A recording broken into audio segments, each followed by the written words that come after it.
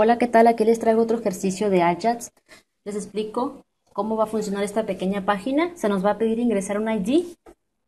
En el momento que demos clic a este botón de mostrar datos, se van a recargar aquí en la página los datos del usuario que es nombre, correo y teléfono. Bueno, más bien dicho, se van a mostrar, ya que la página no va a ser necesario recargarla. Para eso vamos a utilizar Ajax, para que no se recargue la página al momento de mostrar los datos. ¿Y estos datos de dónde los va a obtener? Estos datos los va a buscar en una tabla que tengamos en MySQL. Es decir, tenemos, he creado una base de datos que se llama nueva. Tengo esa base de datos. Y en esa base de datos que se llama nueva, yo tengo una tabla que se llama usuarios. Les voy a mostrar los registros que tengo en la tabla usuarios, ¿sí? Nada más tengo dos registros. A manera de ejemplo, tenemos una ID, primer registro con ID 1, name, José, teléfono, este teléfono y correo este. Y el otro usuario tiene ID, ID 2, nombre Andrés, teléfono este que está aquí y este correo. Podemos ingresar otro nuevo registro. Eh, les voy a mostrar la estructura de esta tabla. Describe usuarios. Quiero que vean la estructura de esta tabla. Tiene únicamente esas cuatro columnas. O también para aquellos que van comenzando en todo esto, voy a poner el código para crear la tabla. Simplemente eh, create table usuarios. Usuarios, así se va a llamar la tabla. Va a tener una ID de tipo INT que va a ser primary key, es decir, no se van a poder repetir esas ID otra columna llamada nombre de tipo varchar, otra de tipo, otra llamada font de tipo int y otra llamada, bueno aquí se me fue esto, email, email de tipo varchar. Entonces van a hacer estos, esta tabla. Bueno, aquí me falta cerrar, que va a tener estas cuatro columnas. Yo no le voy a dar acá a continuar, ya que ya tengo esta tabla creada, ¿sí? Pero bueno, entonces ya vimos que tenemos dos registros en esa tabla. Ya para insertar los datos simplemente es insert into usuarios. Voy a ingresar otro usuario, 3 con ID 3, el nombre, Pepe le voy a llamar. Eh, no me acuerdo si era primero el teléfono y después el correo. Bueno, lo voy a y el correo gmail.com Tengo estos cuatro registros, bueno, me falta aquí values. Estos cuatro registros, vemos aquí que hemos ingresado un tercer usuario. Ya si queremos ver los nuevos datos de esa tabla, simplemente select from usuarios y vamos a ver esa tabla con tres registros. Y aquí podemos ver. Bueno, ya que tenemos la tabla, vamos a comenzar. Eh, el código de HTML ya lo he puesto para no tener que hacer todo desde cero y no, tardarme tanto. Vemos que aquí tengo la CDN de jQuery, luego estoy enlazando este archivo HTML con funciones.js, que es donde va a estar el código de JavaScript. Y aquí estoy utilizando un poco de Bootstrap, para eso pongo la CDN de Bootstrap. Bueno, eh, pues aquí tengo, eh, estas son las cajas de texto, es una caja de texto nada más que me pide ingresar la ID, es decir, es esta, es esta que está ahí, vemos que dice placeholder y ahí está el texto que ya aparece por defecto que dice ingresa la ID. Y luego tenemos este botón al cual estamos aplicando un poco de Bootstrap. Y en el momento que demos clic a ese botón se va a ejecutar un método de JavaScript llamado datos usuario. ¿Sí? Bueno, y luego aquí dice, hay un H3 que dice datos del usuario, luego dice nombre, y aquí hay un ID que dice nombre, luego aquí donde dice correo hay un ID donde dice que, que se llama correo, y esto lo vamos a usar ahorita, esto nos va a servir esta ID para poder eh, hacer el código en JavaScript, tomarlo como referencia. Bueno, este es el código HTML.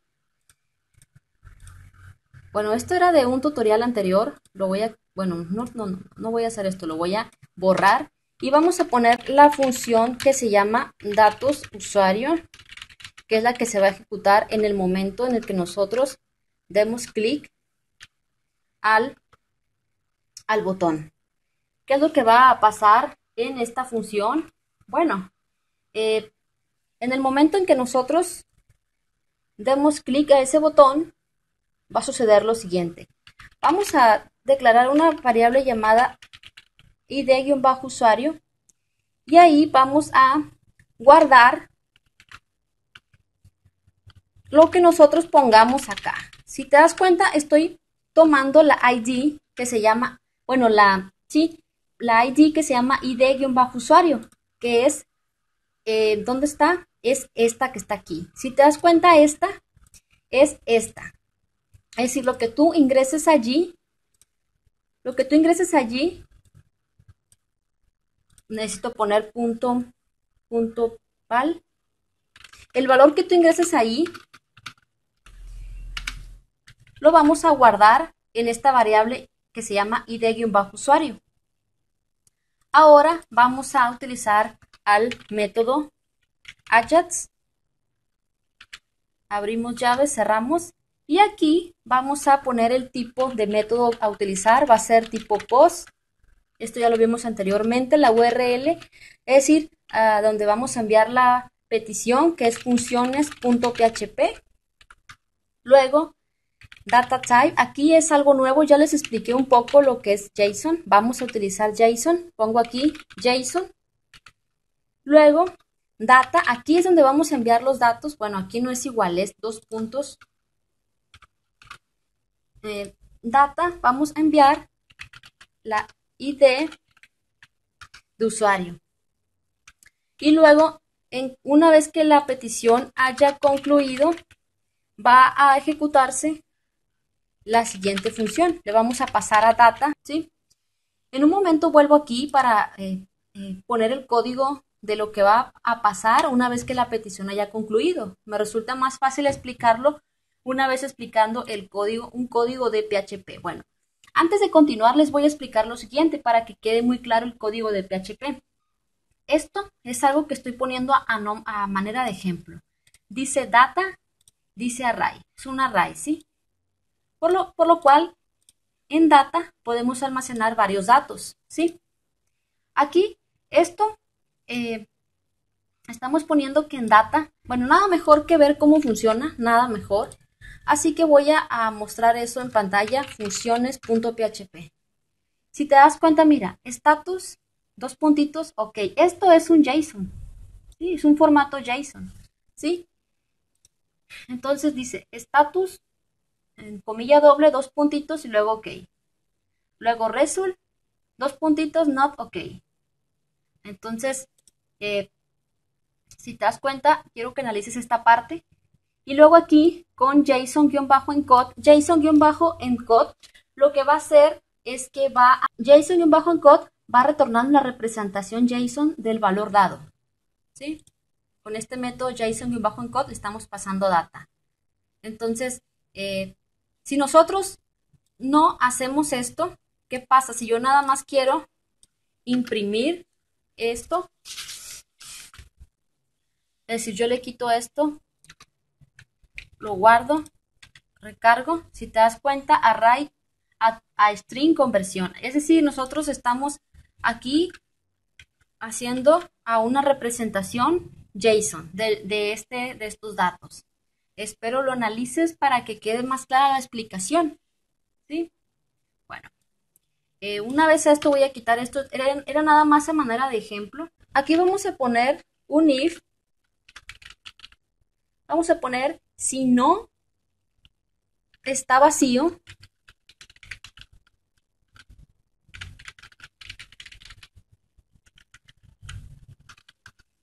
recuerda, ID y de bajo usuario es lo que nosotros, eh, bueno, voy a poner index.html, es lo que nosotros pusimos aquí, el usuario. Y este dato se nos envió desde aquí, si recuerdas. Entonces, si no está vacío lo que pusimos allí en ese input, si no está vacío, ¿qué pasa? Aquí hacemos esto. Data. Bueno, aquí no, no es así, es array, así. Esto eh, lo vimos eh, anteriormente, ¿sí? Esto nos va a hacer como, eh, vamos a mostrarlo en, en tipo JSON. Luego aquí vamos a poner los datos de nuestra conexión, para hacer la conexión, ¿sí? ¿Cómo se llama? Eh, bueno, voy a crear una variable de Java de PHP a la que voy a llamar host y es localhost. Es decir, nosotros estamos utilizando localhost si estás trabajando desde tu máquina. Ya si estás trabajando desde un servidor remoto, ellos tienen que hacer otras cosas. Un poco similar, pero tienen que hacer otras cosas. Entonces yo estoy en localhost, me imagino que muchos de ustedes también están utilizando localhost. Si se dan cuenta, pues yo, yo había explicado que estoy utilizando el servidor Apache con este programa que se llama SAM, que nos sirve para nosotros poder tener un servidor local en la computadora. Luego, el, el nombre de usuario db username, así lo voy a llamar, así lo guardo en esa variable, es root db password, así se llama la variable que estoy declarando. Yo no tengo contraseña, ya si tú pusiste contraseña, ya sería cuestión de ponerla. Y declaro una variable que se llama db name, es decir, cómo se llama el nombre de la base de datos. Yo le he llamado nueva. Si te acuerdas, la base de datos se llama nueva, ¿sí? Luego, estas son simples variables de PHP y en esas variables yo estoy guardando esos, esos datos. ¿sí? En dbhost pongo, guardo localhost, en db username guardo el root, el, el nombre de usuario, aquí la contraseña y aquí el nombre de la base de datos. Después de esto, hago lo siguiente. db es una variable que estoy creando y aquí lo que va a hacer es que voy a crear un nuevo objeto MySQLi. ¿Sí? Y le vamos a pasar estos datos. Le vamos a pasar a dbhost, le vamos a pasar a db username, le vamos a pasar a db password y le vamos a pasar a db name. Le vamos a pasar esos datos. Después de esto, ponemos if con ese objeto db vamos a eh, usar el método connect, el método connect guion bajo error. Bueno, aquí no sé qué dice. Connect guion bajo error. A ver, es connect guion bajo error. Y si hay algún tipo de error con la conexión, va a aparecer lo siguiente que va a decir problemas. Bueno, aquí es problemas con la conexión. Y vamos a concatenar a ese error.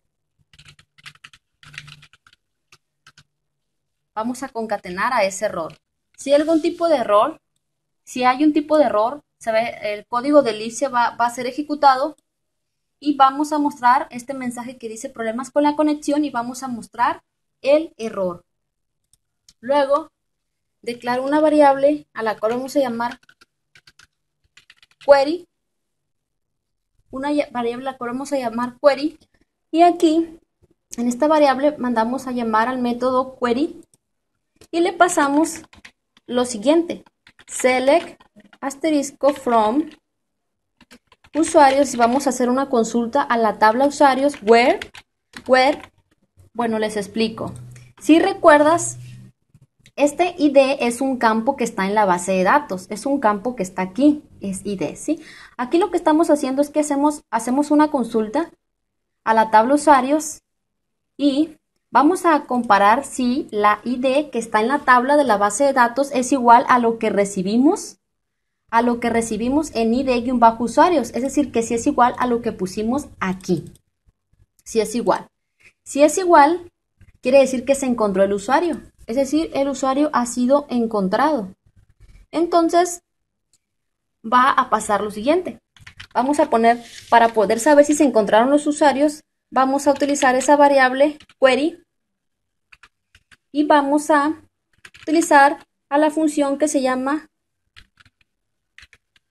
num-rows y si hay es mayor que cero quiere decir que se encontraron registros, ¿sí?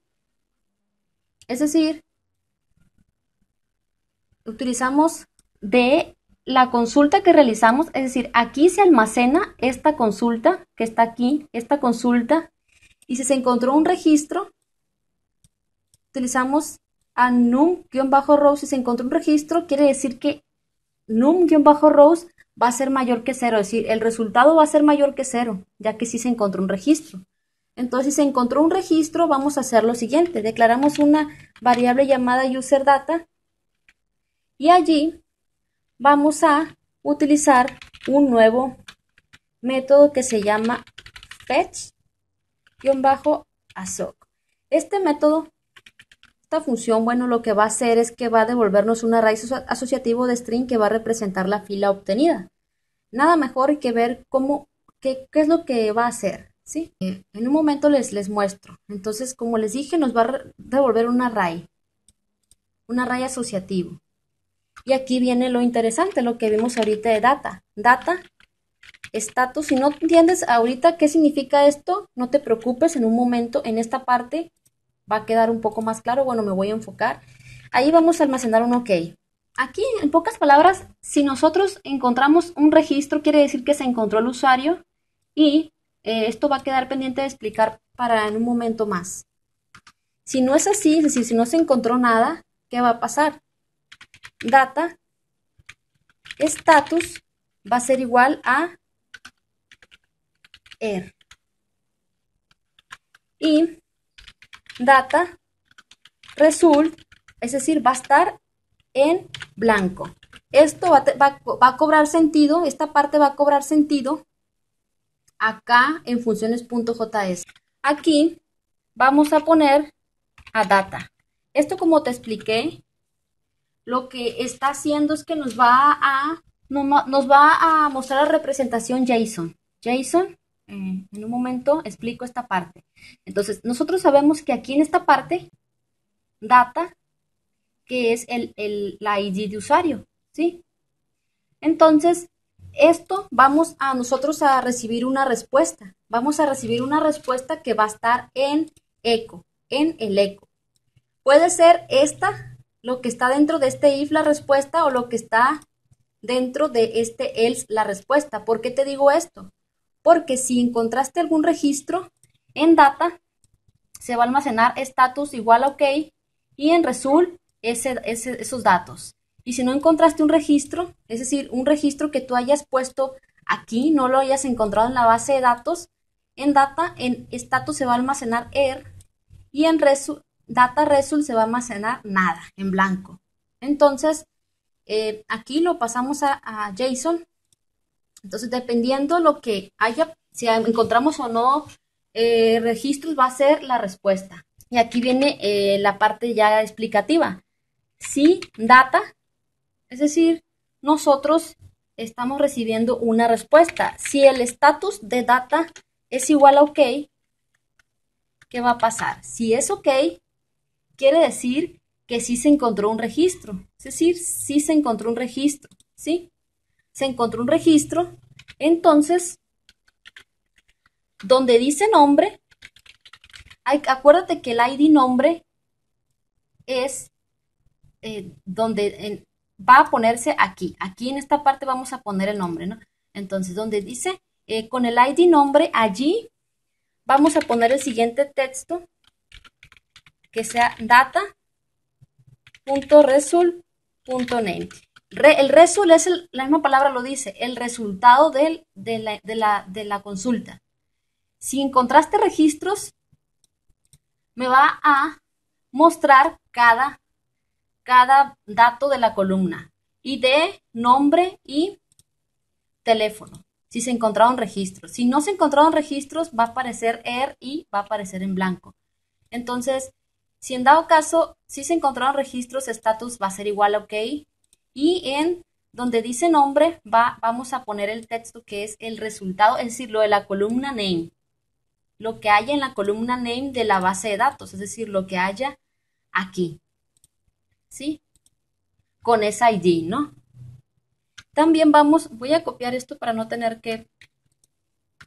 Vamos a donde está la correo, donde está el correo, vamos a poner también, pero email. ¿Cómo se llama la columna? Se llama email, ¿no?